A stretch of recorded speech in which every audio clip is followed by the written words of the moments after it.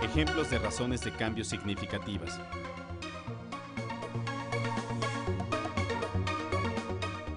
En este programa se analizarán ejemplos de razones de cambio significativas.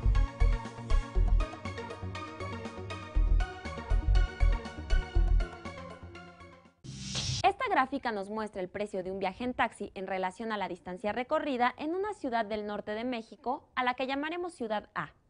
A los 750 metros recorridos desde el punto de partida, el precio es de 18 pesos. Si solo cuento con 30 pesos, ¿qué distancia puedo recorrer? Esta otra gráfica muestra el precio a cobrar según la distancia recorrida por un taxi de una ciudad del centro de la República que llamaremos Ciudad B. ¿En qué ciudad resulta más caro transportarse en taxi? ¿En cuál de las dos la razón de cambio del precio y la distancia recorrida es mayor? Veamos cómo podemos responder a estas interrogantes.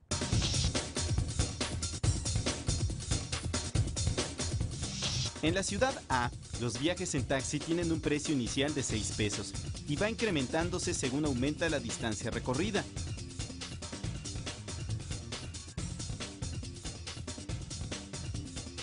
De los 250 metros a los 1000 metros. Se recorrió 750 metros. Y el precio se incrementó en 12 pesos. Si dividimos el incremento de precio entre el incremento de distancia, los 750 metros, obtenemos la razón de cambio de la tarifa con respecto a la distancia recorrida. 0.016 pesos por metro, lo que equivale, multiplicando por mil, a 16 pesos por kilómetro.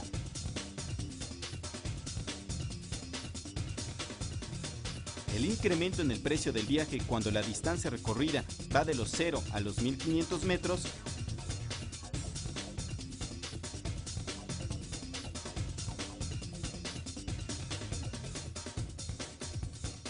fue de 24 pesos.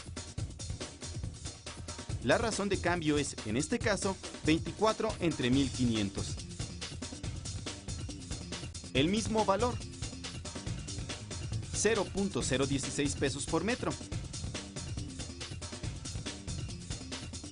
¿Se obtendrá la misma razón de cambio en todos los intervalos? Examinemos un intervalo más de los datos para estar seguros. En el recorrido de los 500 a los 1250 metros, el precio se incrementó en 12 pesos. ¿Cuál es la razón de cambio que obtenemos? ¿Se dan cuenta? Es la misma. Esto significa que, en este ejemplo, la razón de cambio es constante. El precio del viaje se incrementa con la distancia recorrida de manera directamente proporcional.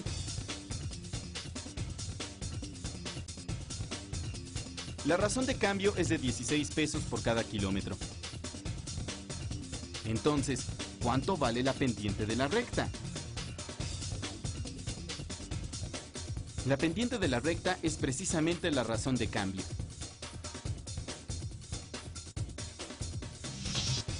La tarifa de los taxis no es igual en todas las ciudades. En la ciudad B, los taxis tienen un precio mínimo de 12 pesos y va aumentando cada 250 metros. Nuevamente, encontremos la razón de cambio de ambas cantidades, distancia recorrida y precio para esta ciudad. A partir de la gráfica, veamos qué precio tendría un viaje de 500 metros. De 12 a 18 pesos. Es decir, 6 pesos. Entonces, ¿cuál será la razón de cambio? Examinemos otro intervalo de datos. De los 1500 a los 2500 metros de recorrido, el precio pasó de 30 a 42 pesos. Es decir, sufrió un incremento de 12 pesos. Eso quiere decir que, efectivamente, la razón de cambio es de 12 pesos por kilómetro, que corresponde al valor de la pendiente de la recta.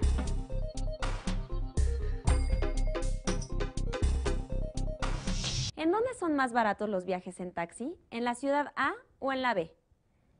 Por un lado, en la ciudad A la tarifa inicial es más baja que en la ciudad B, pero el precio por la distancia recorrida es mayor. Si se continúan estas rectas, ¿seguirán paralelas o se cruzarán en algún punto? ¿Qué significado tiene el punto de cruce? Un viaje en taxi de 500 metros en la ciudad A tiene un precio de 14 pesos, mientras que en la ciudad B la misma distancia costaría 18 pesos. La diferencia es de 4 pesos.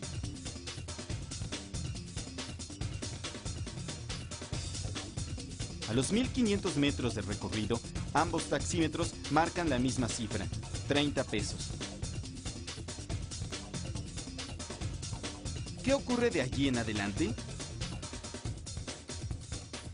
Se vuelve más caro el recorrido en la ciudad A. Entonces, solo antes de los 1500 metros recorridos, los viajes en taxi son más baratos en la ciudad A. Pasando esa distancia, los viajes son más baratos en la ciudad B. ¿Cuál de estas rectas representa mayor razón de cambio entre distancia y precio? la que presenta mayor pendiente o inclinación. Veamos esta otra gráfica que muestra el tiempo que necesitan para detenerse completamente un avión y una avioneta según la rapidez con la que tocan tierra al aterrizar. ¿Cuánto tiempo requiere el avión para detenerse? ¿Y cuánto la avioneta? ¿Cuál de ambas pendientes es más pronunciada? ¿Qué significa esto?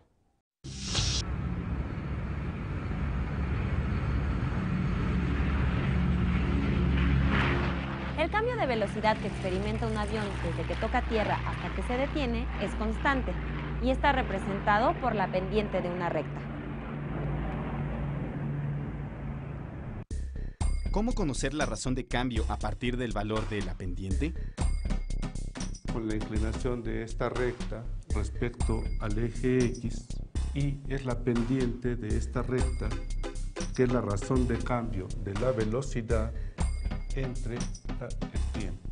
En este caso, como se trata de una recta, eh, la pendiente, como ustedes pueden ver, se trata de la misma, no importa en qué región de la recta se encuentre, tanto para el avión como para la avioneta, siempre es la misma. Obviamente, lo que pasa con esta recta es que está más eh, pronunciada respecto al eje X, ustedes pueden ver el ángulo de inclinación es diferente, está más pronunciado respecto al eje X y por consiguiente quiere decir que esta pendiente es más grande en valor numérico. Por consiguiente, esta avioneta está desacelerando más rápidamente que el avión. ¿Esta pendiente es negativa o positiva? Las pendientes son negativas porque este ángulo de inclinación es obtuso.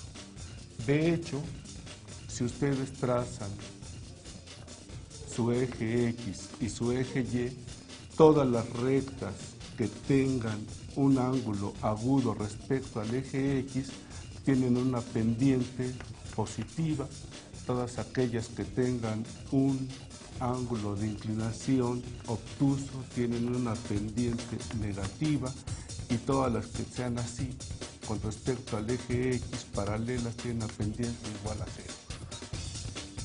Una avioneta toca tierra con una rapidez de 60 metros sobre segundo. ¿Cuánto tiempo requiere para frenar? La pendiente de esta recta es negativa, así que el avión llegó a una cierta velocidad y va desacelerando hasta que justamente cruza este eje. En el punto donde esta gráfica cruza al eje es el tiempo justamente de frenar. La velocidad está numerada desde el cero hacia adelante y justamente cuando cruza el eje es justamente la velocidad cero. Comparando las pendientes de la recta, ¿qué análisis podemos hacer respecto al aterrizaje de ambas naves? ¿Qué significa que una pendiente sea más pronunciada que la otra? se puede ver que si las pendientes son más pronunciadas que la... Esta pendiente es más pronunciada que esta, significa que el ritmo al cual van desacelerando es diferente en ambos. En este caso, la desaceleración es más eh, eh, rápida, valga la redundancia, que en este. El hecho de que la pendiente que ustedes ven aquí en rojo para la avioneta sea más pronunciada que la del avión, simplemente significa que la razón de cambio de la velocidad con respecto al tiempo es más pronunciada en la avioneta que en el avión. Hemos visto que el valor de la pendiente es la misma que la razón de cambio. ¿Qué pasaría si la pendiente no fuera constante? ¿Qué situaciones pueden representar este tipo de pendientes? Imagínense un tanque de agua que todos ustedes conocen y que ese tanque de agua lo llenan, digamos, hasta acá. Es decir, todo esto está lleno de agua.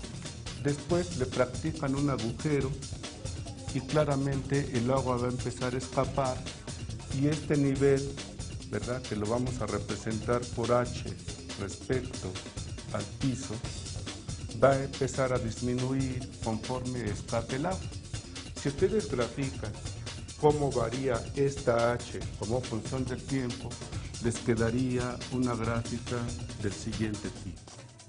H como función del tiempo es justamente una curva de este tipo. Noten que justamente el punto donde corta aquí significa el tiempo de vaciado del. Recuerden que una razón de cambio es el incremento de una cantidad entre el incremento de la otra y se puede representar gráficamente como la pendiente de una recta para facilitarnos el análisis e interpretación de infinidad de datos.